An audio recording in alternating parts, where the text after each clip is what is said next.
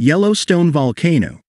How seven-year USGS study showed abnormal change.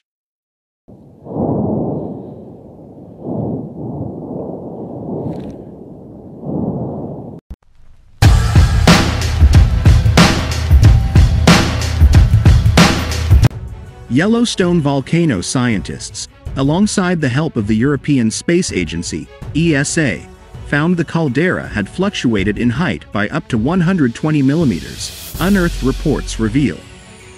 The seven-year study, which kicked off in 1997, was led by Charles Wicks and used satellite pictures snapped by the ERS-2 probe.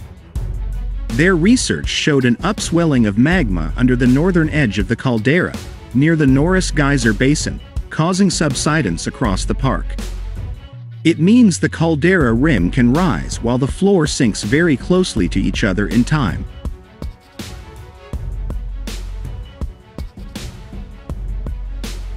The surface appears to be in constant motion, rising and falling, but Dr. Wicks said the team needed more time to understand what is happening.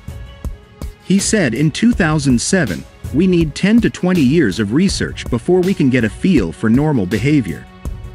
Then we can predict what's happening based on the abnormal behavior.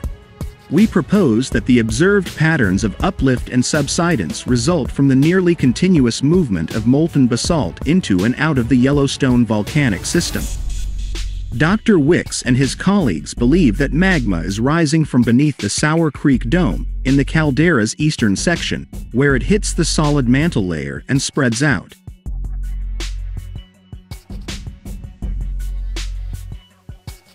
As magma pulses into the chamber under the dome, the dome swells and rises. Then, when the magma pulse leaks out through fractures under the north rim of the caldera, the dome settles back. He added, as the magma loses heat and cools, it dives back under the Mammoth Hot Springs. Right now, we're looking at a new episode of Uplift that started in 2004. Dr. Wicks is yet to provide an update on the situation. However, the discovery does not mean the supervolcano is any closer to erupting, despite claims it is overdue.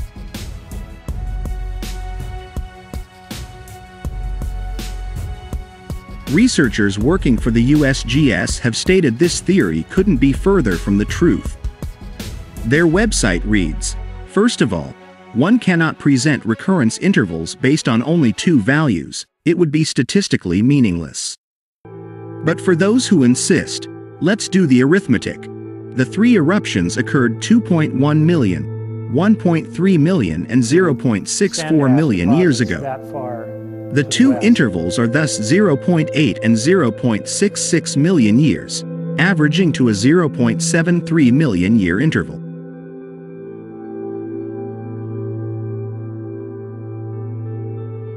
Again, the last eruption was 0.64 million years ago, implying that we are still about 90,000 years away from the time when we might consider calling Yellowstone overdue for another caldera-forming eruption. Nevertheless, we cannot discount the possibility of another such eruption occurring sometime in the future, given Yellowstone's volcanic history and the continued presence of magma beneath the Yellowstone caldera.